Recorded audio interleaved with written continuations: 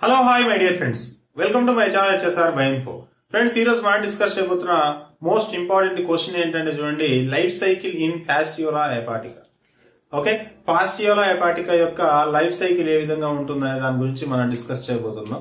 Okay ఇది యాక్చువల్గా BSc జార్జీకి first సెమిస్టర్లో ఉన్న మోస్ట్ ఇంపార్టెంట్ క్వశ్చన్స్లో ఇది ఒకటిగా కన్సిడర్ చేయడం జరుగుతుంది. ఎందుకంటే మెనీ టైమ్స్ కూడా లాస్ట్ ఇయర్ కూడా ఈ ఫ్యాసియోల్ హెపాటికా లైఫ్ సైకిల్ అడిగినాడు కాబట్టి కొద్దిగా కాన్సన్ట్రేట్ చేసి వినాలి.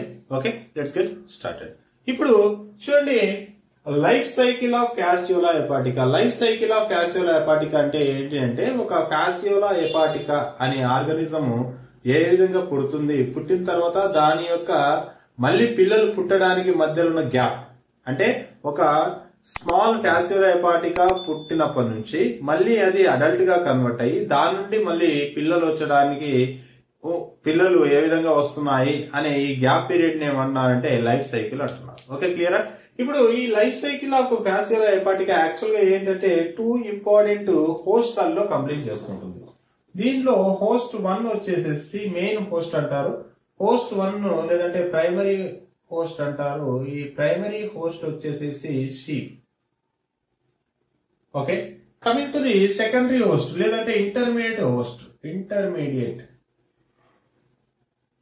Intermediate host వచ్చేసేసి దీనిలో ఏంటంటే స్నేక్ ఓకే ముఖ్యంగా ఏంటి అంటే ఈ యొక్క షీప్ లోపల ప్రైమరీ హోస్ట్ ఎందుకు అంటున్నాం అంటే షీప్ లోపల ప్యాసియోలా ఎపాటికా యొక్క అడల్ట్ ఫార్మ్స్ అనేది గ్రో అవుతాం adult of Fasciola hepatica coming to the intermediate host ఎందుకు ఇంటర్మీడియట్ హోస్ట్ అంటున్నాం అంటే అడల్ట్ కండిషన్గా మారడానికి అడల్ట్ కండిషన్గా మారడానికి ఈ అడల్ట్ పెట్టిన ఎగ్స్ ఈ అడల్ట్ పెట్టిన ఎగ్స్ ఏవైతే ఉన్నాయో ఆ ఎగ్స్ నుండి అడల్ట్గా రావడానికి మధ్యలో అడల్ట్ పెట్టిన ఎగ్స్ నుండి అగైన్ అడల్ట్గా కన్వర్ట్ అవ్వడానికి మధ్యలో మెనీ లార్వల్ ఫామ్స్ ఉన్నాయి. మెనీ లార్వల్ ఫామ్స్ ఉన్నాయి. ఈ అన్ని లార్వల్ ఫామ్స్ అన్ని కూడా దేనిలో కంప్లీట్ చేసుకుంటుందంటే ఇది స్నేల్లో కంప్లీట్ చేసుకుంటుంది. వెరీ సింపుల్ అడల్ట్ నుండి మళ్ళీ అడల్ట్ రావాలి అంటే మధ్యలో లార్వల్ ఫామ్స్ ఉంటాయి. ఆ లార్వల్ ఫామ్స్ అన్ని కూడా స్నేల్లో కంప్లీట్ చేసుకుంటుంది. ఈ విధంగా లైవ్ ఈ యొక్క ప్యాసియల్ హెపాటికా అనేది రెండు రకాలైన హోస్ట్లలో ఇది నివసిస్తూ ఉంటుంది. ఓకే? ఇప్పుడు ఫస్ట్ ఆఫ్ ఆల్ డీటెయిల్గా వెళ్ళాలి అంటే యాక్చువల్ కాన్సెప్ట్ అనేది వెరీ సింపుల్ దీనిలో కొన్ని డయాగ్రామ్స్ ఉంటాయి మెనీ డయాగ్రామ్స్ ఉంటాయి. ఆ డయాగ్రామెటికల్ రిప్రజెంటేషన్ మాత్రమే చూపిస్తాను. ఆ డయాగ్రామ్లో ఎక్కడ స్టార్ట్ చేసి ఎక్కడ ఏం చేయాలి ఎన్ని పాయింట్స్ ఒక్కొక్క దానికి రాయాలి అనే దాని గురించి డిస్కస్ చేద్దాం. ఓకే? ఇప్పుడు విషయం ఏంటి అంటే మొత్తం ఈ యొక్క కాన్సెప్ట్ లోపల ఈ లార్వల్ ఫార్మ్స్ అనేటివి చాలా ఇంపార్టెంట్. ఒక్కొక్క లార్వా గురించి దాని డీటెయిల్ ఎక్స్ప్లెనేషన్ దాని యొక్క స్ట్రక్చర్ ఏంటి దాని గురించి ఉంటుంది. తర్వాత అడల్ట్ ఏ విధంగా కోఆపరేషన్ ఇన్వాల్వ్ అవుతుంది ఏ విధంగా ఫర్టిలైజేషన్ ఫర్టిలైజేషన్ జరుగుతుంది ఏ విధంగా ఈ అడల్ట్ అనేది ఎగ్స్ బయటకు వస్తాయి బయటకు వచ్చిన ఎగ్స్ స్నేల్లోకి ఏ విధంగా వెళ్తాయి వెళ్ళిన తర్వాత లార్వల్ ఫామ్ ఏ విధంగా కన్వర్ట్ అవుతాయి అన్ని కూడా దీనిలో డిస్కస్ చేయబోతాం. అయితే విషయం ఏంటంటే మొత్తం యొక్క లైఫ్ సైకిల్ లోపల స్నేల్ తర్వాత షీప్ ఉంది. దేని లోపల ఏ విధంగా దీని యొక్క లైఫ్ సైకిల్ ఉంటుంది అనేది ఫస్ట్ డీటెయిల్గా ఒకసారి గ్రాఫికల్ రిప్రజెంటేషన్లో చూద్దాం. ఫస్ట్ ఏంటంటే చూడండి ఫర్ ఎగ్జాంపుల్ ఇది స్నేల్ అనుకుందాం. సారీ షీప్ అనుకుందాం. షీప్ ఈ షీప్లోకి ఏంటి అంటే యాక్చువల్ లార్వల్ ఫార్మ్స్లో ఎండు లార్వా ఫామ్ అనేది షీప్లోకి ఎంటర్ అవుతుంది. అది ఏంటంటే encysted encysted metacercaria metacercaria larva ఏంటి? ఎన్సిస్టెడ్ మెటాసర్కేరియా లార్వా అనేది షీప్లోకి ఎంటర్ అవుతుంది. ఓకే షీప్లోకి ఎంటర్ అయిన తర్వాత ఈ లార్వా నుండి ఏం ఫామ్ వస్తుంది అంటే అడల్ట్ ప్యాసియోలా హెపాటికా ఎఫ్హెచ్ఆర్ అని రాస్తుంది. ప్యాసియోలా హెపాటికా అయితే ఈ ప్యాసియోలా హెపాటికా ఎగ్స్ని ప్రొడ్యూస్ చేస్తుంది ఆ ఎగ్స్ పేరు ఏంటంటే encysted miracidium encysted miracidium forms రూపం లోపల ఈ అడల్ట్ ఏం చేస్తుందంటే మళ్ళీ ఎగ్స్ పెడుతుంది. ఈ యొక్క మూడు కండిషన్స్ మాత్రమే షీప్లో జరుగుతుంది. ఈ అడల్ట్ ఫామ్ అనేది షీప్లో ఉంటుంది. ఈ అడల్ట్ ఫామ్లోనే ఫర్టిలైజేషన్ కోపులేషన్ తర్వాత అన్ని జరిగేసేసి ఎగ్స్ పెడుతున్న ఆ ఎగ్స్ని ఏమన్నారంటే ఎన్సిస్టెడ్ మిరాసీడియం అన్నారు. ఇంకా ఈ ఎగ్స్ పెట్టిన తర్వాత ఈ ఎగ్స్ అనేటివి బయటికి వాటర్లోకి వస్తాయి. పీకల్ మ్యాటర్ ద్వారా ఈ అడల్ట్ యొక్క ఈ షీప్ యొక్క పీకల్ మ్యాటర్ ద్వారా అడల్ట్ ఏంటంటే వాటర్లోకి వస్తాయి. వాటర్లోకి వచ్చేసిన తర్వాత ఈ miracidium encysted form that converted to the miracidium larva miracidium larva miracidium larva convert అవుతుంది. Miracidium larva again that converted into ఈ మిరాసిడియన్ లార్వా ఏం చేస్తుందంటే స్నేల్లోకి ఎంటర్ అవుతుంది. అంటే ఇక్కడ నుంచి యాక్చువల్లీ మనం తీసుకుంటే ఇక్కడ చూడండి ఈ నుంచి ఇదంతా కూడా షీప్ ఇంకా కింద రాసేది మొత్తం snail miracidium larva that convert నుంచి sporocyst larva sporocyst larva again sporocyst larva that convert redia larva redia లార్వాగా convert అవుతుంది. Redia larva that convert into the cercaria larva cercaria larva again cercaria larva అనేది encysted meta cercaria లార్వాగా convert అవుతుంది. ఈ meta cercaria larva అడల్ట్లోకి వెళ్తుంది. ఇది యాక్చువల్గా మొత్తం life cycle ఇది షీప్లో జరుగుతాయి. ఈ ఫార్మ్స్ అన్ని కూడా. ఇక్కడ చూడండి మిరాసిడియా లార్వా అన్నాము స్పోరోసిస్ట్ లార్వా అన్నాము రేడియా లార్వా అన్నాము సర్కేరియా లార్వా అన్నాము. ఈ అన్ని లార్వాస్ కూడా దేనిలో గ్రోత్ అవుతున్నాయంటే దేనిలో ఒకదాని నుంచి ఒకటి వస్తున్నాయి. ఓకే దీని నుంచి ఇది దీని నుంచి ఇది దీని నుంచి ఇది. ఇవన్నీ ఈ విధంగా ఎక్కడ జరుగుతున్నాయంటే స్నేల్ లోపల నత్తల లోపల ఈ యొక్క లైఫ్ సైకిల్ అనేది జరుగుతుంది. ఓకే ఇది యాక్చువల్గా ఎన్ type life cycle of Fasciola hepatica first రాస్తున్నప్పుడు ఏంటంటే బేసిక్గా ఈ టూ పాయింట్స్ రాయాలి. ప్రైమరీ హోస్ట్ సెకండరీ హోస్ట్ లేదంటే ఇంటర్మీడియట్ హోస్ట్ అనేది ఏంది రాసేసి దీని నుంచి బ్రీఫ్గా ఇట్లా రాసేసి తర్వాత దీని యొక్క మొంటైర్ లైఫ్ సైకిల్ అనేది టూ యొక్క హోస్ట్లో కంప్లీట్ అవుతుంది. ఫస్ట్ హోస్ట్ సీప్ లోపల ఏ విధమైన కన్వర్జేషన్స్ జరుగుతాయి? స్నేహిల్ లోపల ఏ విధమైన కన్వర్జేషన్స్ జరుగుతాయి అనేది రాసామంటే ఒక ఇంపార్టెంట్ కాన్సెప్ట్ కంప్లీట్ చేసినట్టు అయితే ఇప్పుడు విషయం ఏంటి అంటే ఈ adult Fasciola hepatica adult Fasciola hepatica sheep లోపల ఎక్కడ ఉంటుంది? ఎక్కడున్న తర్వాత ఇది ఏ విధంగా ఎగ్స్ పెట్టుంది? ఏ విధంగా ఎగ్స్ని లే చేస్తుంది? ఎగ్స్ లే చేసే కన్నా ముందు అది ఏ విధంగా కన్వర్జేషన్ జరుగుతాయి అవన్నీ కూడా డీటెయిల్గా చూడాలి. చూసిన తర్వాత ఒక్కొక్క లార్వా డయాగ్రామ్ దాని యొక్క డిస్క్రిప్షన్ అండ్ ఆ విధంగా కంప్లీట్ చేసుకున్నామంటే మొత్తం ఈ కాన్సెప్ట్ అనేది క్లియర్గా అయిపోతుంది. ఓకే లెట్ గెట్ సి ఏంటి అంటే ఫస్ట్ అడల్ట్ ప్యాసివ్ ఎపాటిక్ ఏ విధంగా ఉంటుంది? దాని లోపల రిప్రొడక్షన్ ఏ విధంగా ఉంటుంది? ఏ విధంగా ఇవి కోపులేషన్ జరుగుతుంది అనే దాని గురించి డీటెయిల్గా చూద్దాం. క్లియర్ ఓకే ఒకసారి చూడండి.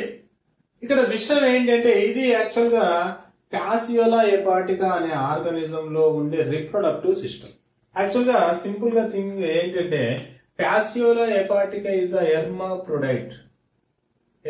hermaphrodite organism. Hermaphrodite అంటే ఏంటి అంటే male genital system plus female genital system రెండు కూడా ఒకే దానిలో ఉంటే దాన్ని ఏమంటారంటే హెర్మాప్రొడైట్.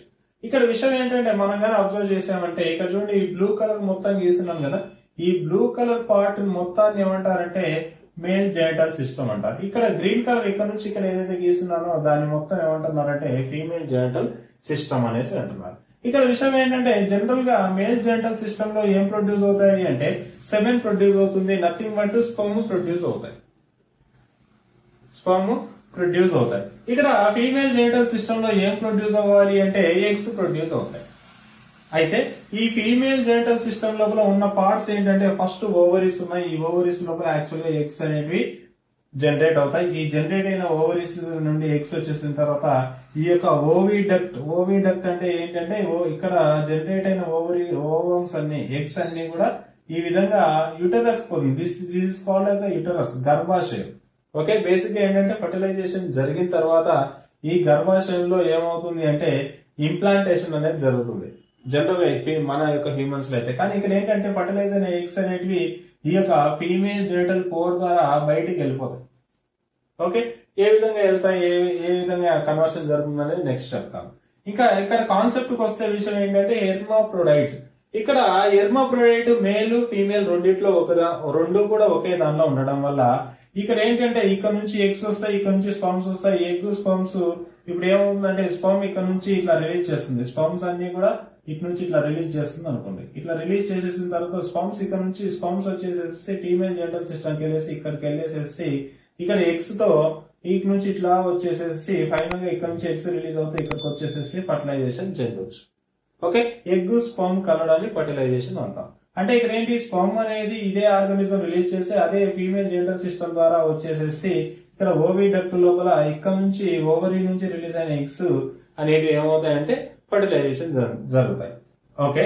ఇంకా ఈ విషయం ఏంటంటే ఈ విధంగా జరగాలి. కానీ మోస్ట్ ప్రాబబ్లీ మోస్ట్ ప్రాబబ్లీ ఏంటి అంటే ఇవి ఎర్నోప్రెడిట్ అయినా కూడా సెల్ఫ్ ఫర్టిలైజేషన్ జరగవు. సెల్ఫ్ ఫర్టిలైజేషన్ జరగదు. సెల్ఫ్ ఫర్టిలైజేషన్ జరగకుండా క్రాస్ ఫర్టిలైజేషన్ జరుగుతుంది. క్రాస్ ఫర్టిలైజేషన్ అంటే ఏంటి అంటే ఈ యొక్క ఈ యొక్క ప్యాసియోలా హెపాటికా అనేది యాక్చువల్గా లివర్ సారీ యాక్చువల్లీ ఏం చేస్తుందంటే ప్యాసియోలా హెపాటికా అనేది మేజర్గా ఈ యొక్క షీప్ యొక్క bile glands bile bile glands ఉంటాయి కదా ఆ బైల్ గ్లాండ్స్ లోపల గ్రోత్ అవుతూ ఉంటుంది. బైల్ గ్లాండ్స్లో ఉన్న ప్యాసియోలా హెపాటికా ఒకటి ఉండదు యాక్చువల్గా మెనీ అనేది ఉంటాయి. ఫర్ ఎగ్జాంపుల్ ఇది ఒక ఫ్యాసియోలా ఎపాటిక అనుకున్నాం ఓకే దాని పక్కన ఇంకో కాసియోలా ఎపాటిక ఈ విధంగా రెండు ఉన్నాయి.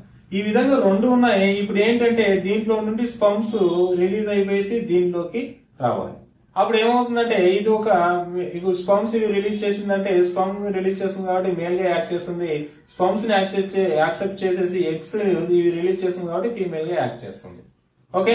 రెండు కూడా ఒకే దానిలో ఉన్నా కూడా సెల్ఫ్ ఫర్టిలైజేషన్ జరగకుండా క్రాస్ ఫర్టిలైజేషన్ జరుగుతుంది. ఒక దానిలో ఉన్న స్పంప్స్ ఇంకో దానిలో ఉన్న ఎగ్స్కి అటాచ్ అవడాన్ని ఏమంటున్నారంటే క్రాస్ ఫర్టిలైజేషన్ అంటారు. అయితే ఈ క్రాస్ ఫర్టిలైజేషన్ ఎలా జరుగుతుంది అనేది కొద్దిగా చిన్న కాన్సెప్ట్ ఇక్కడ విషయం ఏంటంటే క్రాస్ ఫర్టిలైజేషన్ జరగాలంటే చూడండి యాక్చువల్గా ఇక్కడ మనం చూస్తామంటే లారల్ కెనాల్ అనేది this is called as Laurer Laurer pore లేదంటే లారల్ కెనాల్ అంటారు. ఇప్పుడు ఈ విషయం ఏంటంటే ఈ లారల్ పోర్ అనేది యాక్చువల్ ఈ ఆర్గానిజం కి ఇది యాంటీరియర్ అయితే పోస్టీరియర్ కన్నా కొద్దిగా పై భాగం లోపల ఉంది. అంటే ఈ లారల్ పోర్ అనేది ఒకసారి చూడండి సింపుల్గా. ఈ ఆర్గానిజం ఏ విధంగా ఉందంటే ఇక్కడ ఒక చిన్న పోర్ ఉంటుంది. ఓకే? ఈ చిన్న పోరునే ఈ చిన్న పోర్ అనేది లోపల సైడ్ చూస్తే మనకి ఏ విధంగా ఉంటుంది? ఇది దేనికి కనెక్ట్ అయిందంటే ఫీమేల్ జెంటల్ సిస్టమ్కి కనెక్ట్ అయింది. అంటే ఇక్కడ నుంచి ఎగ్స్ రిలీజ్ అవుతాయి కదా ఎగ్స్ రిలీజ్ అవుతాయి. ఎగ్స్ ఇక్కడ నుంచి రిలీజ్ అయ్యి ఇట్లా పోతాయి యాక్చువల్లీ ఇప్పుడు ఏంటి అంటే ఇక్కడ ఉన్న ఒక ఆర్గానిజం కి లారల్ కెనాల్ ఏదైతే ఉంటుందో ఇంకో ఆర్గానిజం స్పమ్ని ఈ లారల్ కెనాల్ ద్వారా దీనిలోకి ఇంట్రడ్యూస్ చేస్తుంది. అలా ఇంట్రడ్యూస్ చేయాలి అంటే ఇంకో ఆర్గనిజం ఏ విధంగా ఉంటుందంటే స్పమ్ ఎక్కడి నుంచి ఇంట్రడ్యూస్ చేస్తుంది చూడండి ఇక్కడ.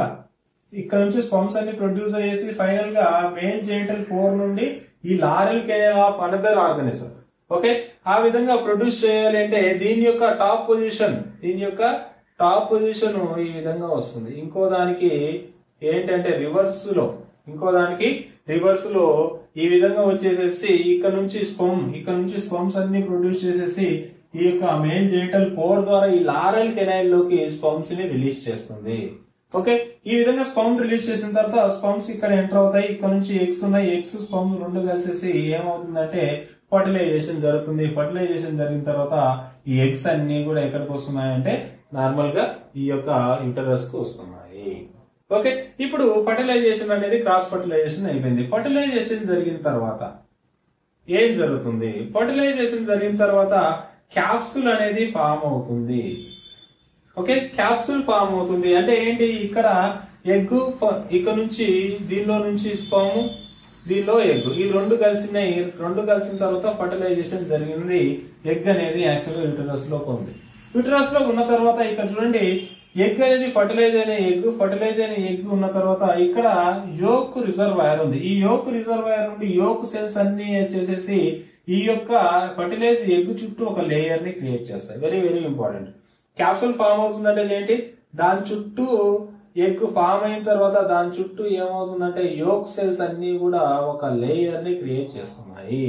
యోక్ సెల్ ఒక లేయర్ క్రియేట్ చేసిన తర్వాత ఈ యోక్ సెల్స్ని యూజ్ చేసుకొని ఈ యోక్ సెల్స్ని యూజ్ చేసుకొని యోక్లో ఉన్న న్యూట్రియంట్స్ యూజ్ చేసుకునేసి ఈ ఫర్టిలైజర్ అయిన ఎగ్ ఏం చేస్తుందంటే దీని చుట్టూ ఒక షెల్ని క్రియేట్ చేసుకుంటుంది. ఒక షెల్ అంటే ఏంటి? జనరల్గా మనకు తెలిసింది పైన ఒక మన ఎగ్గుకు ఉండే మన యాక్చువల్గా ఈ ఎన్ని యొక్క ఎగ్గు కోడిగుడ్డుకు పైన ఉండే తెల్లని పదార్థాన్ని ఏమంటాం అంటే షెల్ అంటున్నాం.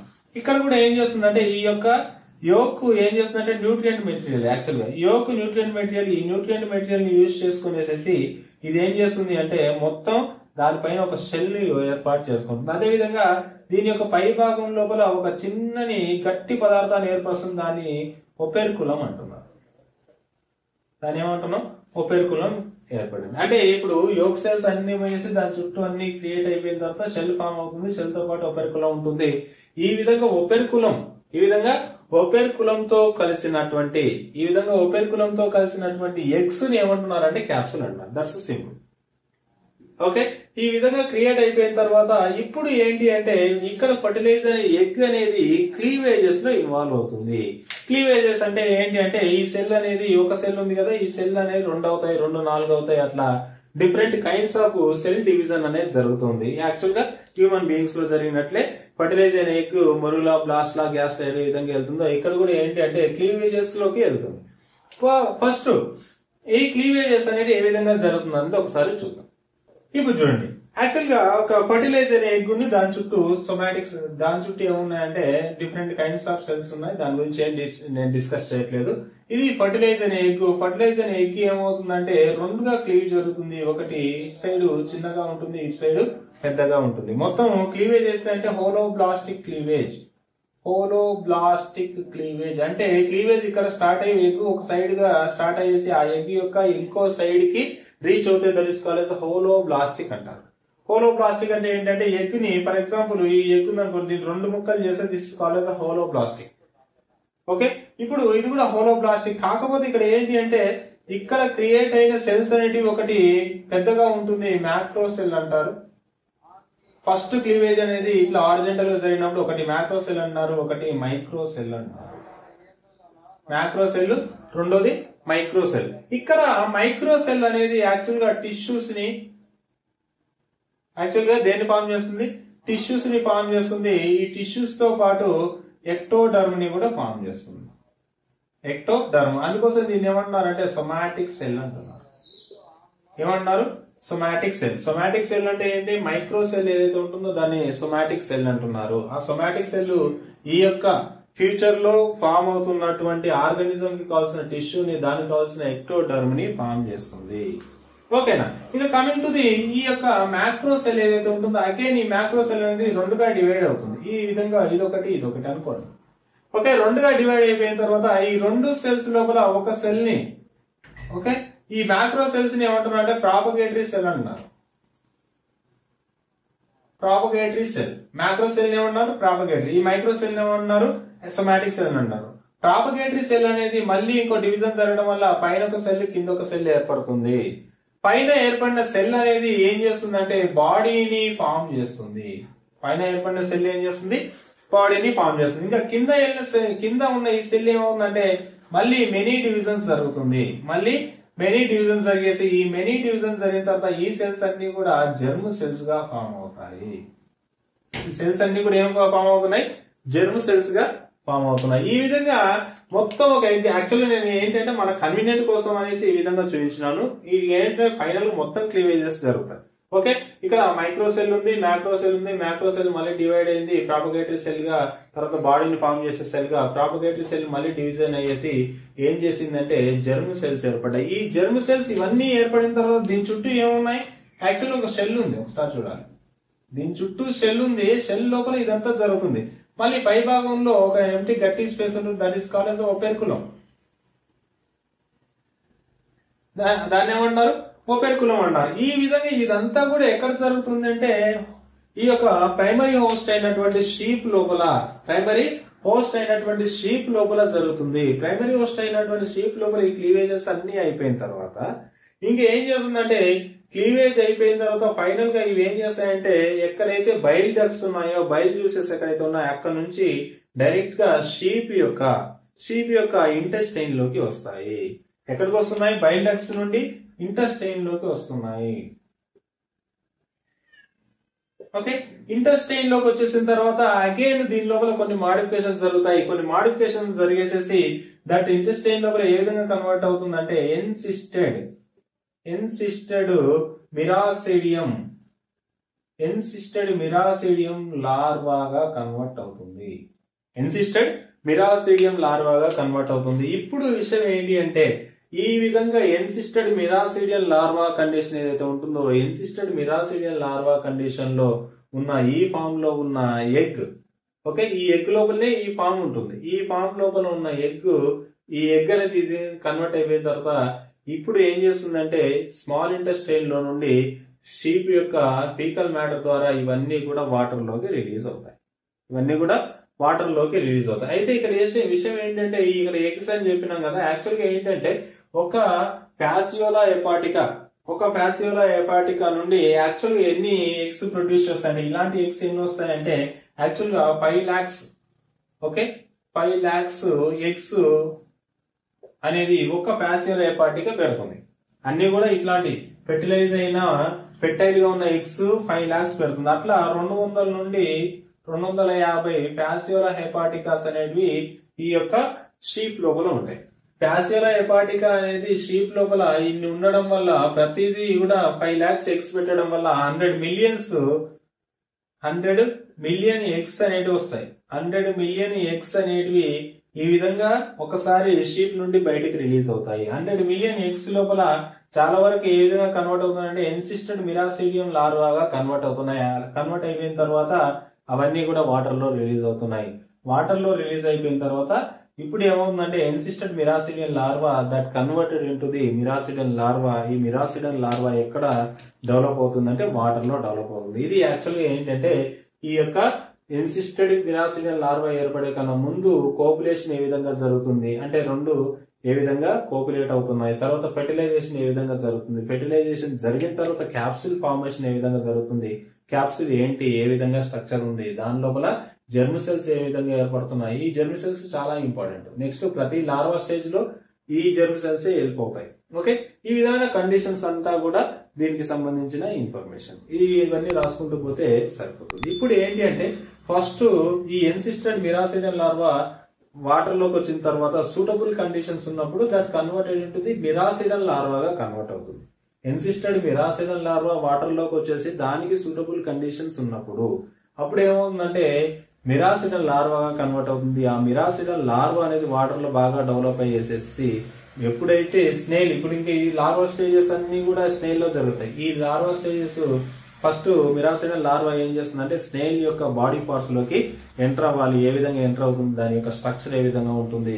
ఈ యొక్క మిరాసైన లార్వా యొక్క స్ట్రక్చర్ ఏ విధంగా ఉంటుంది అనేది చూస్తాం. ఓకే? ఓకే ఒకసారి చూడండి.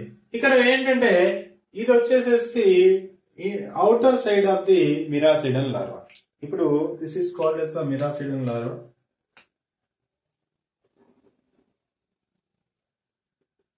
Miracidium larva. ఈ మిరాసిడియన్ లార్వా అనేది ఎట్లా ఏర్పడింది అనేది ఆల్రెడీ నేను చెప్పినాను. ఎన్సిస్టెడ్ మిరాసిడియన్ లార్వా అనేది వాటర్లోకి వచ్చిన తర్వాత సూటబుల్ కండిషన్స్ ఉన్నప్పుడు ఆ సిస్ట్ని కంప్లీట్ చేయాలి. ఆ సిస్ట్ని దాని చుట్టూ ఉన్న ఒక లేయర్ని సిస్ట్ అంటే ఏంటంటే ఈ యొక్క ఈ లార్వా చుట్టూ ఒక చిన్న సన్నని లేయర్ ఉంటుంది. ఆ సిస్ట్ని డిస్ట్రాయ్ చేసుకుంటుంది. డిస్ట్రాయ్ చేసుకున్న తర్వాత ఈ విధమైన స్ట్రక్చర్ కనబడుతుంది. మనకు అవుట్ సైడ్ ఏ విధంగా అంటే ఈ విధమైన స్ట్రక్చర్ కనబడుతుంది.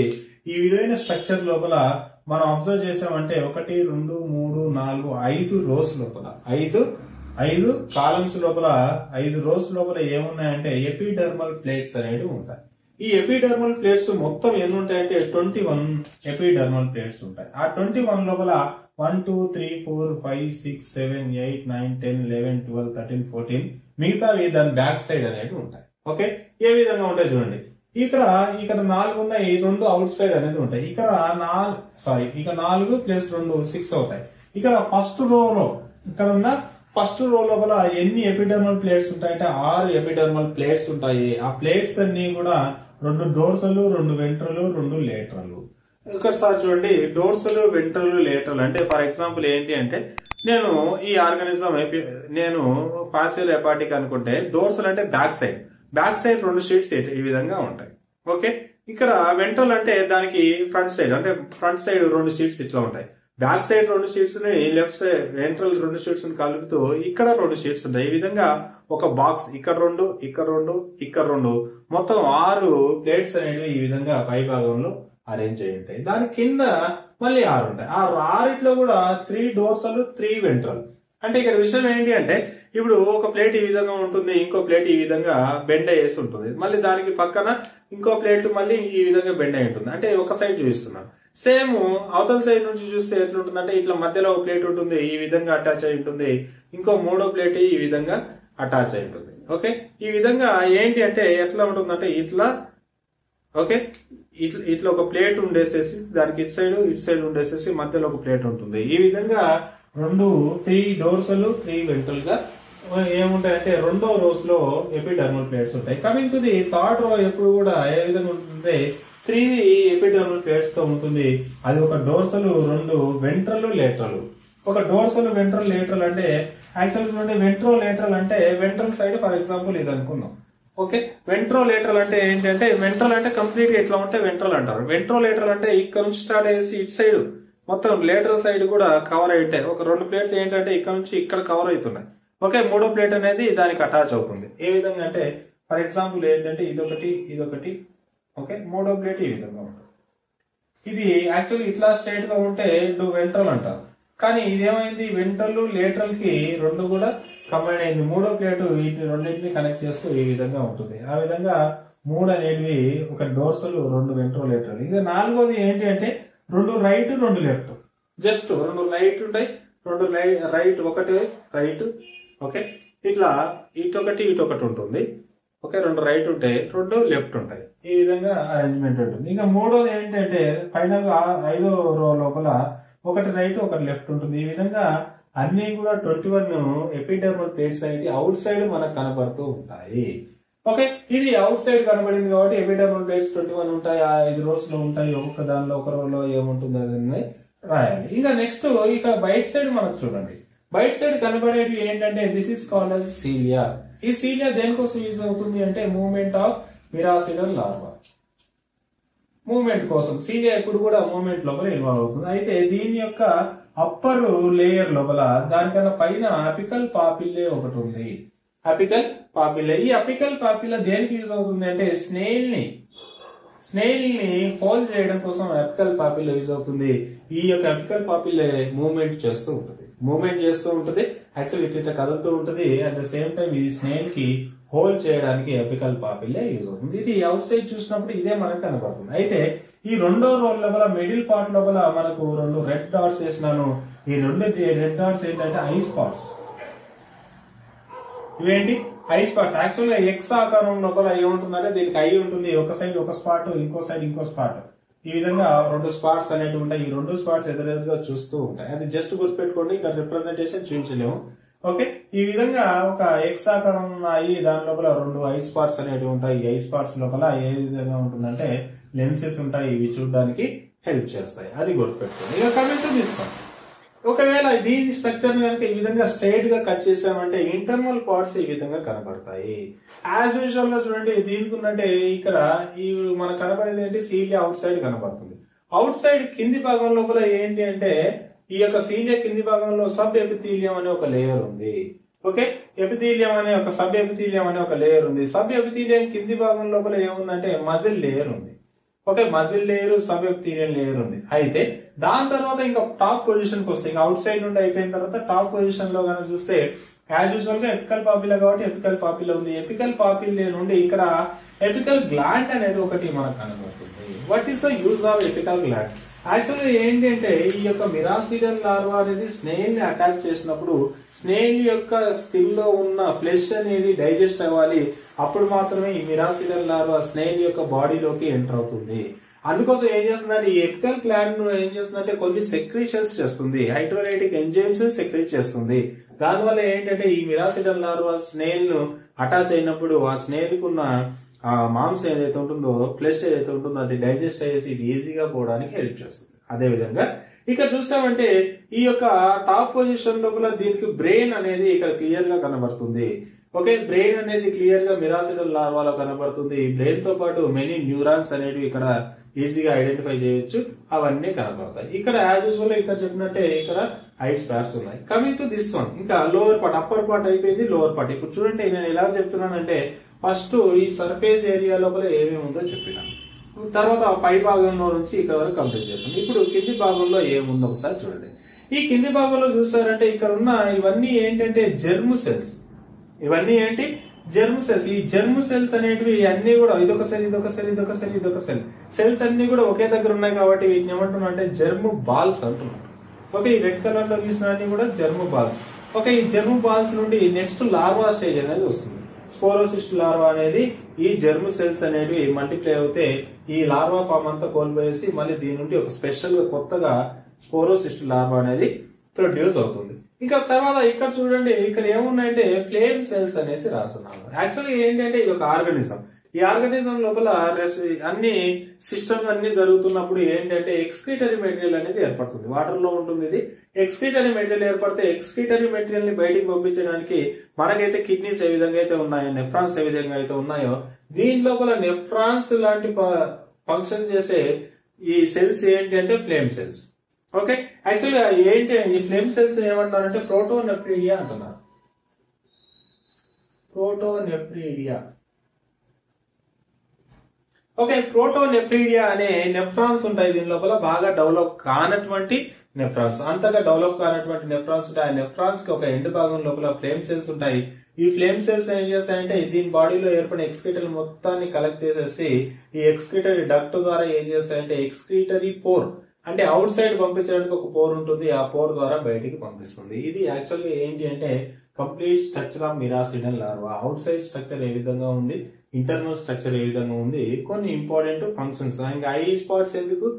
ఈ అంటే దాన్ని చూడడానికి. బ్రెయిన్ ఎందుకంటే దాని యొక్క ఫంక్షన్ మనందరికీ తెలిసింది. ఎపికల్ పాపులే ఎందుకంటే ఆల్రెడీ ఇక్కడ నేను ఎక్స్ప్లెయిన్ చేస్తున్నాను. స్నేల్ని ఇంజెక్ట్ చేయడానికి. తర్వాత ఇవేం చేస్తున్నాయంటే కొత్త లార్వాస్ ఫామ్ చేస్తాయి ఇవేం చేస్తున్నాయంటే ఎక్స్క్రేషన్ లోపల ఇన్వాల్వ్ అవుతున్నాయి. ఇంకా దీని యొక్క అవుటర్ లేయర్ లోపల సబ్ ఉంది. దానికి కింది భాగంలో మజిల్ లేయర్ ఉంది. దాని అవుట్ సైడ్ మొత్తం కూడా ఏమున్నాయంటే సీరియా ఉన్నాయి. ఇవి యాక్చువల్గా ఏంటంటే మిరాసైడల్ లార్వా. అగైన్ ఇప్పుడు ఈ కండిషన్ లోపల ఓకే? ఎప్పుడైతే ఇది వాటర్లో తిరుగుతూ ఉంది వాటర్లో తిరుగుతూ ఉన్నప్పుడు స్నేల్ కనుక దీనికి అటాచ్ అయింది అనుకోండి స్నేల్ ఇది ఏంటంటే విత్ ఇన్ ఈ యొక్క ఎన్సిస్టెడ్ మిరాసిడియం నుండి మిరాసిడియం లార్వా ఫామ్ వచ్చేసిన తర్వాత విత్ ఇన్ ట్వంటీ ఫోర్ అవర్స్లోనే ఏం చేయాలంటే ఖచ్చితంగా అక్కడ స్నేల్స్ ఉంటే స్నేల్ యొక్క బాడీలోకి పోవాలి. ఒకవేళ అలా పోలేనప్పుడు ఈ మిరాసిడియం లార్వాస్ అన్ని కూడా చనిపోతాయి.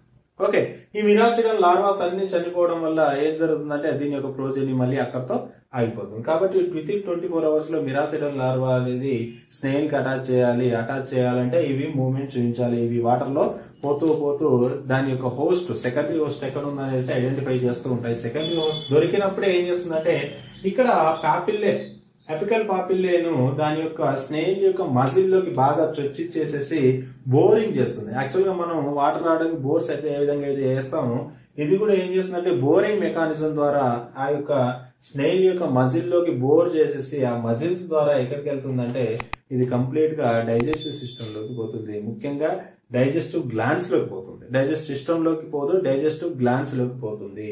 ఓకే ఒకసారి డైజెస్టివ్ గ్లాండ్స్కి పోయిన తర్వాత అక్కడ ఏం చేస్తుంది అంటే సూటబుల్ ఎన్విరాన్మెంట్ కండిషన్స్ క్రియేట్ చేసిన తర్వాత ఇక్కడ ఏర్పడినటువంటి ఈ లార్వా ఓకే మిరాసిడన్ లార్వాలో ఉన్న ఈ జెర్మ్ సెల్స్ అనేటివి స్పోరోసిస్ట్ లార్వాని ఫామ్ చేస్తాయి. ఇప్పుడు స్పోరోసిస్ట్ లార్వా ఏ విధంగా ఉందనేది ఒకసారి అబ్జర్వ్ చేద్దాం. Okay okay.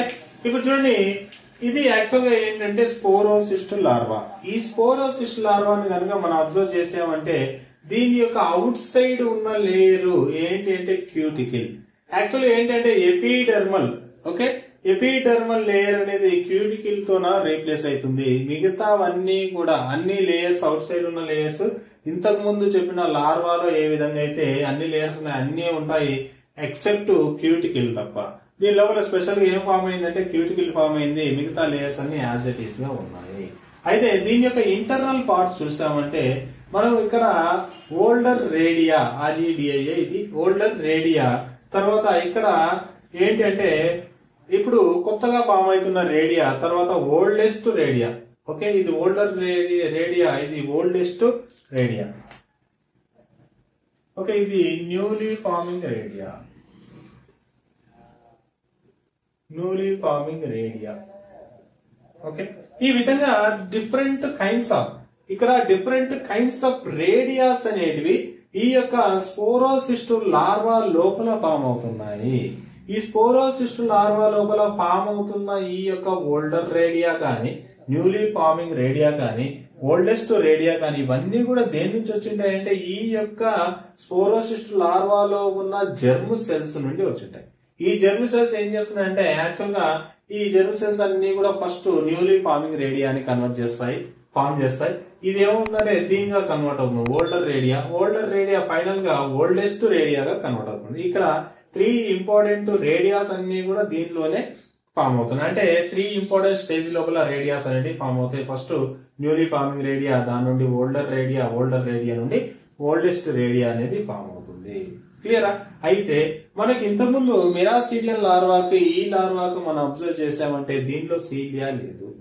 దీనిలో సీలియా మనకు కనబడట్లేదు పాయింట్ వన్. రెండోది ఏంటంటే ఇక్కడ అపికల్ గ్లాండ్స్ మనకు కనబడ అదేవిధంగా బ్రెయిన్ మనకు కనబడట్లేదు. అదేవిధంగా ఐ స్పాట్స్ మనకు కనబడట్లేదు. అంటే ఇక్కడ విషయం ఏంటి అంటే miracidium larva sporocyst larva convert అవుతున్నప్పుడు దాని యొక్క గ్లాన్స్ను కోల్పోతుంది దాని యొక్క ఐ స్పాట్స్ను కోల్పోతుంది దాని యొక్క బ్రెయిన్ను కోల్పోతుంది. ఇవన్నీ కోల్పోయిన తర్వాత దీనిలో జెమ్ సెల్స్ మిగులుతాయి? జెమ్ సెల్స్ అనేవి ఈ విధంగా ఉంటాయి. ఓకే? అయితే విషయం ఏంటంటే ఇక్కడ ప్రోటో నెప్రిడియన్స్ అక్కడ నేను ఏదైతే నెఫ్రీడియన్స్ చూపించినానో ఫ్లేమ్ సెల్స్ ఏమైతే చూపించినానో నెఫ్రీడియాస్ అనేటివి నెఫ్రాన్స్ లైక్ స్ట్రక్చర్ దానికి ఫ్లేమ్ సెల్స్ అనేటివి ఉంటాయి. ఇక్కడ విషయం ఏంటంటే ఇక్కడ కూడా చూసామంటే ఇట్ సైడ్ ఒక ఫ్లేమ్ సెల్ ఒకటి రెండు ఫ్లేమ్ సెల్స్ ఇట్ సైడ్ రెండు flame cells left and right two sides కూడా రెండు ఫ్లేమ్ సెల్స్ అనేటివి ఫామ్ అయినాయి. ఇక్కడ రెండు ఫ్లేమ్ సెల్స్ ఇక్కడ రెండు ఫ్లేమ్స్ కనెక్ట్ అయ్యేసేసి ఈ రెండు ఫ్లేమ్ సెల్స్ కూడా ఒకే ప్రోటోనెఫ్రీడియా ఓపెనింగ్ లేదంటే ప్రోటోనెఫ్రీడియా పోర్ ద్వారా బయటికి వెళ్తున్నాయి. అంటే దీంట్లో ఈ లాభాలో వేస్ట్ మెటీరియల్ని ఈ రెండు కలెక్ట్ చేసేసి ఒకే ఛాంబర్ ద్వారా అండ్ ఒకే ఓపెనింగ్ ద్వారా బయటకు పంపిస్తుంది అదే విధంగా ఇక్కడ కూడా రెండు ఫ్లేమ్ సెల్స్ ఉన్నాయి. ఒకటి రెండు. ఈ రెండు కూడా వేస్ట్ మెటీరియల్ని కలెక్ట్ చేస్తున్నాయి. కలెక్ట్ చేసేసి ఒకే జెంటల్ పోర్ నార్మల్గా ఎక్స్క్రేటరీ పోర్ ద్వారా బయటికి పంపిస్తున్నాయి. ఇది యాక్చువల్గా ఏంటంటే స్పోరోసిస్ట్ లార్వా ఇప్పుడు ఈ స్పోరోసిస్ట్ లార్వా ఎక్కడ ఉంది? యాక్చువల్గా ఎక్కడ గ్రోత్ అవుతున్నాయి? ఇవన్నీ కూడా ఈ యొక్క డైజెస్టివ్ గ్లాండ్స్లో గ్రోత్ అవుతున్నాయి. మిరాసిడియన్ డైజెస్టివ్ గ్లాండ్లో గ్రోత్ అయింది.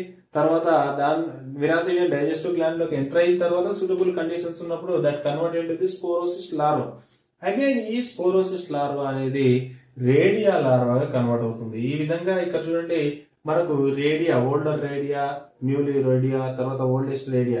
ఇప్పుడు ఏం చేస్తాయంటే ఈ ఓల్డెస్ట్ రేడియా ఇవన్నీ కూడా ఏం చేస్తాయంటే ఫామ్ అయిపోయిన తర్వాత ఈ యొక్క అవుట్ సైడ్ ఉన్న అవుట్ సైడ్ ఉన్న లేయర్స్ని చీల్చుకొని బయటకు వచ్చేస్తాయి. బయటకు వచ్చేసేసి అగైన్ దీంట్లో ఉన్న ఈ జెమ్ సెల్స్ ఏం చేస్తాయంటే ఇవి బయటకు వచ్చేస్తాయి. మళ్ళీ ఇక్కడ ఉన్న జెమ్ సెల్స్ ఒక స్పెషలైజ్డ్ స్ట్రక్చర్స్ని క్రియేట్ చేస్తాయి. ఏంటి ఆ స్పెషలైజ్డ్ స్ట్రక్చర్స్ అనేది? నెక్స్ట్ లార్వాలో ఒకసారి డిస్కస్ చేద్దాం. ఓకే ఓకే ఒకసారి అబ్జర్వ్ చేద్దాం. ఇది ఇది రేడియల్ లార్వా. యాక్చువల్గా సర్కేరియా ఇదేంటంటే దేని నుంచి వచ్చిందంటే స్పోరోసిస్ట్ లార్వా నుండి రేడియా లార్వా అనేది ఫామ్ అయింది. రేడియల్ లార్వాకు స్పోరోసిస్ట్ లార్వాకి ఏంటంటే దీంట్లో కూడా క్యూటికల్ ఉంటుంది. సేమ్ అవుట్ సైడ్ లేయర్స్ అన్ని ఉంటాయి కానీ దీని యొక్క యాంటీరియర్ పొజిషన్ లోపల ఏం ఫామ్ అయి ఉంటుందంటే మౌత్ ఫామ్ అయి ఉంటుంది. మౌత్ మౌత్ ఎందుకు యూజ్ అవుతుంది? ఏదైనా ఫుడ్ తీసుకోవడానికి యూజ్ అవుతుంది. అదే విధంగా మౌత్ తర్వాత ఏముందంటే ఇక్కడ చూసారంటే మజిల్తో ఫామ్ అయిన పానిక్స్ ఫామ్ అయింది.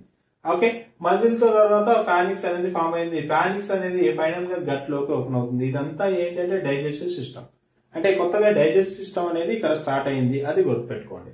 తర్వాత ఇక్కడ విషయం చూసారంటే ఇక్కడ బర్త్ పోర్ అనేది ఒక ఎంటీ స్పేస్ కనబడుతుంది. యాక్చువల్గా ఈ లేయర్ మొత్తం కంటిన్యూస్గా ఉన్నా కూడా ఇక్కడ ఎంటీగా కన్వర్ట్ అయింది. This is called as birth core అన్నారు. బర్త్ కోర్ అంటే ఏంటంటే యాక్చువల్గా ఇక్కడ చూడండి ఇక్కడ జెర్మ్ సెల్స్ ఉన్నాయి. ఈ జెర్మ్ సెల్స్ యొక్క పని ఏంటంటే ఈ లార్వా తర్వాత వచ్చే లార్వాని ప్రొడ్యూస్ చేసేదాన్ని జెర్మ్ సెల్స్ యొక్క ఫంక్షన్ ఈ లార్వా తర్వాత ఏంటి? రేడియా లార్వా తర్వాత ప్రొడ్యూస్ అయ్యే లార్వా ఏంటంటే సర్కేరియా లార్వా ఇక్కడ చూసారంటే ఈ గ్రీన్ కలర్లో నేను వేసిన ఈ రెండు స్ట్రక్చర్స్ ఏంటంటే సర్కేరియా లార్వా ఈ సర్కేరియా లార్వాను ప్రొడ్యూస్ చేయాలి అంటే జెర్మ్ సెల్స్ అనేటివి యాక్టివ్గా ఉండాలి. ఈ జెర్మ్ సెల్స్ సర్కేరియా లార్వాని ప్రొడ్యూస్ చేస్తూ ఉన్నాయి. ఈ సర్కేరియా లార్వాస్ అనేవి ఈ యొక్క లార్వా ఫామ్ నుండి మళ్ళీ సపరేట్ అవ్వాలి అంటే ఈ లార్వా ఫార్మ్స్ యొక్క ఈ బర్త్ పోర్ నుండి ఈ సర్కేరియా లార్వాస్ అనేవి బయటికి వెళ్ళిపోతాయి. బయటికి వెళ్ళిపోతాయంటే యాక్చువల్ స్నేల్లోనే ఉన్నాయి. స్నేల్లోనే ఈ స్నేల్ యొక్క డైజెస్టివ్ గ్లాన్స్ నుండి ఉండేసి అంటే ఈ లార్వా నుండి బయటికి వెళ్ళిపోతాయి. ఈ లార్వా అనేది డిసింటిగ్రేట్ అవుతుంది. క్లియరా ఇది బర్త్ పోర్ యొక్క ఇంపార్టెన్స్ తర్వాత ఇక్కడ విషయం ఏంటంటే యాజ్ యూజువల్గా ఇంత ముందు చెప్పినట్టే ఇక్కడ కూడా ప్రోటోనెఫ్రీడియా ఉంది. ప్రోటోనెఫ్రీడియా లోపల ఇక్కడ రెడ్ కలర్లో బబుల్స్ లాగేసిన అన్ని కూడా. ఏంటంటే ఫ్లేమ్ సెల్స్. ఈ ఎండింగ్ ఏంటి అంటే ఒకే ఎక్స్క్రిటరీ పోర్ అనేసి చెప్తాం. ఈ ఎక్స్క్రిటరీ పోర్ ద్వారా ఇక్కడ సైడ్ ఉన్న దాని అంతా కూడా ఎక్స్కేటర్ పోర్ ద్వారా బయటకు పోతుంది. ఇటు సైడ్ అన్ని కలెక్ట్ చేసిన ఎక్స్కేటర్ మెటీరియల్ అన్ని కూడా ఈ ఎక్స్కేటర్ ఈ పోర్ ద్వారా బయటకు పోతుంది. అయితే ఇది మూవ్మెంట్ చేయాలి అంటే దీనికి ఒక స్పెషలైజ్ స్ట్రక్చర్స్ అనేవి ప్రొడ్యూస్ అయినాయి. లాప్టెట్స్ అంటారు. ఇక్కడ చూసారంటే ఒక స్పెషలైజ్ స్ట్రక్చర్ అంటే సూడోపోడి అమీబాలో సూడోపోడి ఏ విధంగా ఉంటుందో అలాంటి స్ట్రక్చర్ ఇక్కడ ప్రొడ్యూస్ అయింది ఇక్కడ ప్రొడ్యూస్ అయింది. వీటి సహాయంతో ఏం చేస్తుందంటే ఇది మూవ్మెంట్ చేస్తుంది. ఇది ఈ విధంగా ఏముందంటే రేడియల్ ఆర్వ్ అనేది ఫామ్ అవుతుంది. అయితే ఇక్కడ ఉన్న చూడండి ఈ జర్ములేట్స్ ఈ జర్ములేట్స్ వింటర్ లోపల ఏం చేస్తున్నాయంటే ఈ జర్మ్ సైల్స్ అనేవి ఇంటర్ లోపల సర్కేరియల్ లార్వాను ఫామ్ చేస్తున్నాయి. సర్కేరియల్ లార్వాను ఫామ్ చేసిన తర్వాత ఈ సర్కేరియల్ లార్వా అనేది బయటికి పోతుంది. ఒకవేళ వింటర్ కాదు సమ్మర్ సీజన్ వచ్చినప్పుడు ఇక్కడ ఈ దీంట్లో ఉన్న ఓకే ఈ లార్వాలో ఉన్న ఈ జర్మ్ సెల్స్ సమ్మర్ లోపల ఏం చేస్తాయంటే సెకండరీ సర్కేరియా లార్వాస్ని ప్రొడ్యూస్ చేస్తాయి. అంటే ఇక్కడ ఏంటి? వింటర్ లోపల ప్రైమరీ సర్కేరియల్ లార్వాస్ బయటికి వెళ్ళిపోయిన తర్వాత సెకండరీ సర్కేరియల్ లార్వాస్ ఎప్పుడు ప్రొడ్యూస్ అవుతున్నాయి అంటే సమ్మర్లో ప్రొడ్యూస్ అవుతున్నాయి ఫ్రమ్ ది జెర్మో బాల్స్ ఇక ఇవన్నీ అయిపోయిన తర్వాత ఈ లార్వాస్ అనేవి డిసింటిగ్రేట్ అయిపోతాయి. ఓకే ఇది యాక్చువల్గా ఏంటంటే రేడియా లార్వా ఈ రేడియా లార్వా అగైన్ దాన్ని కన్వర్టెడ్ ఉంటుంది సర్కేరియా లార్వా సర్కేరియా లార్వాస్ అనేవి భర్త పోతారు బయటికి పోతాయి. బయటికి అంటే డైజెస్టివ్ గ్లాండ్స్లోకి పోతాయి. ఆ గ్లాన్స్లో సర్కేరియల్ లార్వా యొక్క స్ట్రక్చర్ ఏ విధంగా ఉంటుంది అనే దాని గురించి అబ్జర్వ్ చేద్దాం. క్లియర్ ఓకే చూడండి. ఇదేంటంటే సర్కేరియల్ లార్వా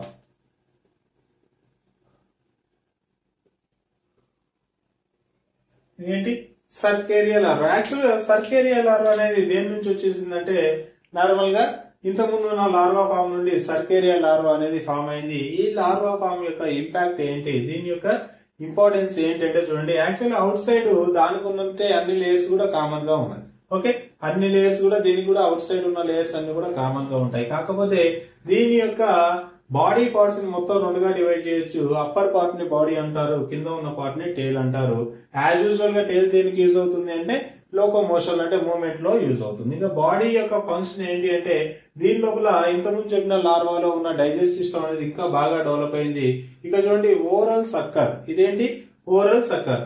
ఈ ఓరల్ సక్కర్ అనేది ఏం చేస్తుంది అంటే యాక్చువల్గా డైజెస్టివ్ గ్లాండ్ ఎస్పెషల్గా డైజెస్టివ్ గ్లాండ్ డైజెస్టివ్ గ్లాండ్ అన్నాను. అది ఏంటంటే liver.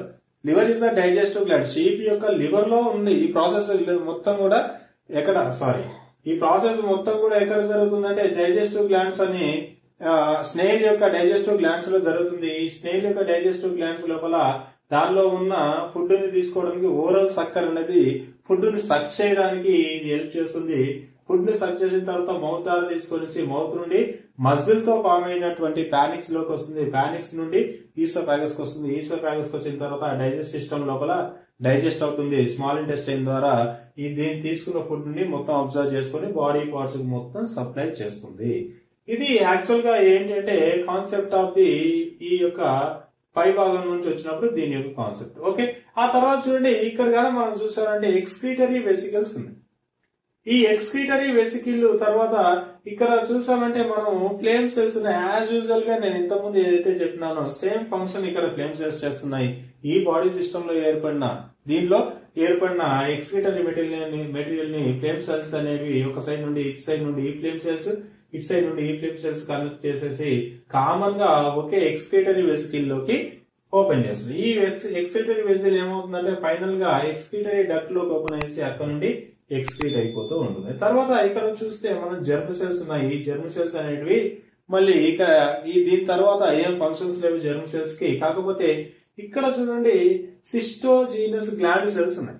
ఈ సిస్టోజీనస్ గ్లాండ్ సెల్స్ యొక్క ఫంక్షన్ ఏంటి అంటే ఈ లార్వా ఫామ్ అనేది నెక్స్ట్ లార్వా ఫామ్గా కన్వర్ట్ కన్వర్ట్ అవ్వడానికి అంటే encysted meta cercaria larva encysted meta cercaria larva convert అవ్వడానికి ఏమి హెల్ప్ చేస్తుందంటే సిస్టోజీనస్ గ్రాన్యులర్ గ్లాండ్ సెల్స్ అనేవి హెల్ప్ చేస్తున్నాయి. ఇది యాక్చువల్గా ఏంటంటే ఒక్కొక్క దాని గురించి ఒక్కొక్క పాయింట్ రాయాలి డయాగ్రామ్ వేసేసి అప్పుడు దీనిలోనే ఎయిట్ టు టెన్ పాయింట్స్ వస్తాయి. ఓకే క్లియర్ ఇది యాక్చువల్గా ఏంటి అంటే మొత్తంగా సర్కేరియా లార్వా దానికి ఉన్న ఇంపార్టెన్స్ ఓకే వన్స్ ఇది ఏమవుతుందంటే స్నేల్ యొక్క డైజెస్టివ్ గ్లాండ్స్ లోపల అయిపోయిన తర్వాత ఇంకా ఇక్కడ నుంచి ఇది ఏమవుతుందంటే బయటికి వెళ్ళిపోతుంది. బయటికి వెళ్ళిపోతుంది ఏ విధంగా బయటికి వెళ్ళిపోతుంది అంటే ఇది స్నేహిల్ యొక్క డైజెస్టివ్ గ్లాండ్స్ నుండి డైరెక్ట్గా లంగ్స్కి రీచ్ అవుతుంది.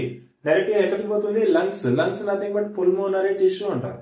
ఆ పుల్మోనరీ టిష్యూకి వెళ్ళిపోయిన తర్వాత స్నేహిల్ యొక్క పుల్మోనరీ టిష్యూ నుండి దాని యొక్క రెస్పిరేటరీ సిస్టమ్ ద్వారా ఆపోజిట్గా దాని యొక్క అవుట్ సైడ్ అనేది వెళ్ళిపోతుంది. అవుట్ సైడ్ వెళ్ళిపోయిన తర్వాత ఏం జరుగుతుందంటే అగైన్ ఈ అవుట్ సైడ్ వెళ్ళిపోయింది వాటర్లో స్నేల్స్ ఉంటాయి స్నేల్స్ అవుట్ సైడ్ వెళ్ళిపోయిన తర్వాత ఈ అవుట్ సైడ్ వెళ్ళిపోయిన తర్వాత ఈ యొక్క టైల్ అనేది దీనికి డిసపియర్ అవుతుంది. డిసపియర్ అయిపోయేసి దీని చుట్టూ ఒక సిస్ట్ అనేది ఫామ్ అవుతుంది. ఆ సిస్ట్ దేని వల్ల ఫామ్ అవుతుందంటే సిస్టోజినస్ గ్లాండ్ సెల్స్ ఉన్నాయి కదా. ఈ cystogenous gland cells that producing the cyst అంటే అవుటర్ లేయర్ని ప్రొడ్యూస్ చేస్తున్నాయి. ప్రొడ్యూస్ చేసేసిన తర్వాత అవి ఏం చేస్తారంటే వాటర్లో ఉంటాయి. ఈ వాటర్లో గ్రాస్ మీద ఉన్నప్పుడు ఒకవేళ గనక వాటర్లో నుండి గ్రాస్ మీదకి వచ్చేసి ఇవి గాన ఉన్నప్పుడు ఈ అంటే నెక్స్ట్ వచ్చే లార్వా కండిషన్ ఆ లార్వా కండిషన్లో ఉన్నప్పుడు గ్రాస్ని ఈ సీడ్స్ తిన్నప్పుడు అవి మళ్ళీ ఈ సీడ్లోకి లోకి పోవడం అనేది జరుగుతుంది. ఇది యాక్చువల్గా జరుగుతున్న సర్కేడియర్ లార్వా యొక్క ఫంక్షన్ క్లియరా ఇక్కడ మనం ఏంటి అంటే ఈ ఫంక్షన్ చూస్తే ఒకసారి చూడండి. మిరాసిడన్ లార్వా నుండి మిరాసిడన్ లార్వా నుండి సర్కేరియా లార్వా రావడానికి అట్లీస్ట్ స్నేల్ లోపల థర్టీ ఫైవ్ నుండి సిక్స్టీ ఫైవ్ డేస్ పడుతుంది. థర్టీ ఫైవ్ నుండి సిక్స్టీ ఫైవ్ డేస్ జరుగుతుంది. అంటే మొత్తం లార్వల్ బాంబ్స్ అన్ని కూడా సిక్స్టీ ఫైవ్ డేస్ ఈ యొక్క స్నేల్లోనే డెవలప్ చెందుతూ ఉంటాయి. వన్స్ సిక్స్టీ ఫైవ్ డేస్ తర్వాత మళ్ళీ ఈ లార్వల్ ఫామ్స్ అనేటివి మళ్ళీ షీప్లోకి ఎంటర్ అయ్యే ఛాయిస్ ఉంది. అప్పటి వరకు ఈ లార్వల్ ఫార్మ్స్ అన్ని కూడా స్నేల్లోనే ఉంటాయి. ఇది యాక్చువల్గా ఏంటంటే cercaria larva. Next encysted meta cercaria larva ఏ విధంగా ఉంటుందో ఒకసారి అబ్జర్వ్ చేద్దాం. ఓకే? ఒకసారి చూడండి. ఫైనల్గా ఉన్న this is called as meta cercaria larva.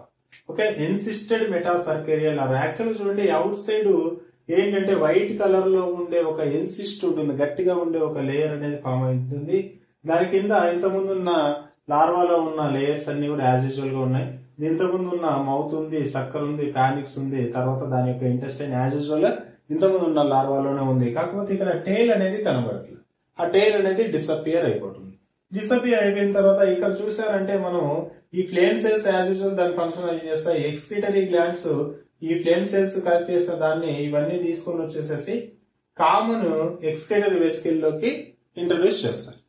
Okay దీని నుండి ఎక్స్క్రీషన్ అనేది జరిగిపోతుంది. ఇది యాక్చువల్గా ఏంటంటే meta cercaria larva encysted meta cercaria larva అనే దాన్ని జువినల్ లార్వా అని కూడా అంటారు. జువి జువినల్ లార్వా ఓకే? సో ఇది యాక్చువల్గా ఫైనల్గా మనం ఏమొచ్చిందంటే ఫైనల్ జువినైల్ లార్వా అనేది వచ్చింది. ఈ జువినైల్ లార్వాని మళ్ళీ అగైన్ షీప్స్గా తింటే ఆ షీప్స్లోకి ఎంటర్ అయిన ఈ జువినైల్ లార్వా అనేది డైజెస్ట్ సిస్టమ్లోకి వెళ్ళేసి అక్కడ నుంచి లివర్లోకి వెళ్ళేసేసి అడల్ట్గా కన్వర్ట్ అవుతుంది. అడల్ట్గా కన్వర్ట్ అయిన ఈ లివర్లో ఉన్న ఈ ఫ్యాసియల్ హెపాటికాస్ అన్ని కూడా ఏం చేస్తాయంటే ఆ hepatic tissue nothing but liver టిష్యూని damage చేస్తాయి. దానివల్ల ఈ యొక్క షీప్స్ అనేటివి ఒక డిసీజెస్ గురవుతాయి. అదేంటంటే యాక్చువల్గా ఫ్యాసియల్ హెపాటికా కలెక్ట్ చేసే హెపాటిక్ డిసీజెస్ ఇది యాక్చువల్గా ఏంటంటే entire process of different kinds of larval stages అనేవి స్నేల్లో ఉన్నాయి. స్నేల్లో నుండి మళ్ళీ షీప్లోకి వచ్చేసేసి అడల్ట్గా కన్వర్ట్ అవుతుంది. అడల్ట్గా కన్వర్ట్ అయిన తర్వాత మళ్ళీ ఎగ్స్ మేజ్ చేయడం ఆ ఎగ్స్ మళ్ళీ స్నేల్లోకి వెళ్ళడం అక్కడ లార్వాస్ ఫామ్ అవ్వడం లార్వాస్ డిఫరెంట్ స్టేజెస్ ఉండడం దాని యొక్క స్ట్రక్చరల్ స్టేజెస్ జరగడం జెర్మ్ సెల్స్ అన్ని కూడా ఒక ఒక స్టేజ్ నుండి ఇంకో స్టేజ్కి తీసుకెళ్ళడం. ఈ విధంగా ఫైనల్గా ఎన్సిస్టెడ్ సెల్స్ అన్ని కూడా కలిసేసి ఎన్సిస్ట్ ఫామ్ చేయడం. ఈ విధంగా ఎంటైర్ ప్రాసెస్ అనేది ఈ యొక్క రెండు స్నేల్ అండ్ షీప్లో సైకిల్గా జరుగుతూ ఉంటుంది. ఓకే ఇది entire concept of Fasciola hepatica యొక్క లైఫ్ సైకిల్ ఇది ఈ క్వశ్చన్ ఇచ్చినప్పుడు రాయాల్సింది ఏంటంటే యాక్చువల్గా చెప్తే చాలా లెంతీగా ఉంది. బట్ మనం షార్ట్ చేసుకోవచ్చు. ఇక్కడ just life cycle of Fasciola hepatica uh, అని ఇచ్చినప్పుడు ఏం చేస్తారంటే మీరు సింపుల్గా దాని యొక్క ఇంట్రొడక్షన్ పార్ట్ రాయకుండా సింపుల్గా అదొక సైకిల్ వేసేసి డిఫరెంట్ స్నేల్లో ఏ విధంగా జరుగుతుంది తర్వాత షేప్లో ఏ విధంగా జరుగుతుంది అనే దాన్ని కాన్సన్ట్రేట్ చేసేసి లార్వల్ ఫామ్స్ని హైలైట్ చేసుకుంటూ ఆ లార్వల్స్ యొక్క స్ట్రక్చర్ రఫ్ డయాగ్రామ్స్ వేసేసి దానిలో ఉన్న ఇంపార్టెంట్ లేబులింగ్ ఒక్కొక్క లేబులింగ్కి సంబంధించిన ఒక్కొక్క పాయింట్ రాసుకుంటూ ఫైనల్గా పోయినామంటే ఐదు లార్వాస్ ఇవన్నీ కూడా రాసేసామంటే టెన్ అవుట్ ఆఫ్ టెన్ వస్తాయి. ఓకే? ఇది entire concept of Fasciola hepatica life cycle. I hope ఇదంతా మీకు క్లియర్గా అర్థమైందనేసి అనుకుంటున్నాను. మీకు అంతా క్లియర్గా అర్థమైంటే నా ఛానల్ సబ్స్క్రైబ్ చేయండి లైక్ చేయండి షేర్ చేయండి ఏమైనా డౌట్స్ ఉంటే కామెంట్ చేశారంటే నేను దానికి రిప్లై ఇస్తాను. ఇంకా ఏదైనా ఇంపార్టెంట్ క్వశ్చన్స్ మీకు అనిపిస్తే అది చేయమని చెప్తే నేను చేయడానికి ట్రై చేస్తాను. Thank you very much